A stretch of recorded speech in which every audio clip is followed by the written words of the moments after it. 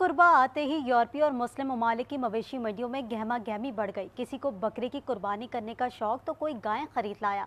अफ्रीकी मुल्क सेनेगाल में खूबसूरत भेड़ों की धूम, जकार्ता की मंडी में भी ब्रश लग गया। जानवर और खरीदार दोनों की भरमार। मिस्र की मवेशी मंडियों में शहरी सुन्नत इब्राहिमी की अदायगी के लिए पुरजोश।